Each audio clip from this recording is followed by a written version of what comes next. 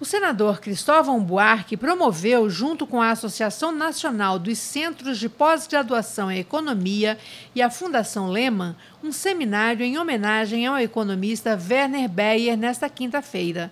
Os economistas Edmar Baixa, que foi um dos criadores do Plano Real, José Márcio Camargo, Clóvis Cavalcante, Ricardo Lima e Luiz Paulo Rosenberg foram alguns dos palestrantes Cristóvão Buarque falou sobre os rumos da economia brasileira e sobre a importância de Beyer para as ciências econômicas do Brasil. Para a economia brasileira, a gente pode dizer que a importância dele foi de ser o professor de todos os grandes economistas que nós temos, de uma geração posterior de 65 anos, ou seja, todos os grandes, e ao mesmo tempo foi fundamental para organizar a ida dessas pessoas ao exterior.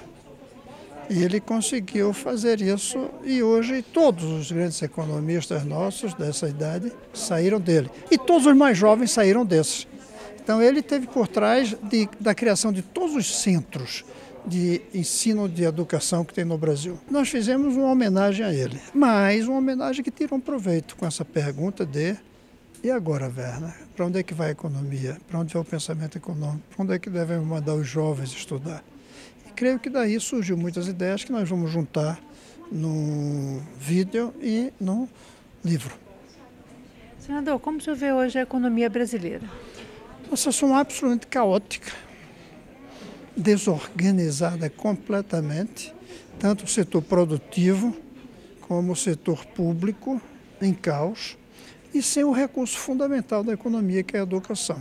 Então, eu vejo com muita preocupação o que vai acontecer com a economia brasileira daqui para frente. O que dá esperança é que hoje já estamos um pouquinho mais esperançosos do que três, seis meses atrás. Porque o que a gente precisa, aparentemente, o novo governo está querendo fazer, que é o equilíbrio das contas, retomar a credibilidade e fazer um diálogo entre todos os atores brasileiros, que o governo anterior não estava fazendo. Com isso, aí a gente pode começar a avançar.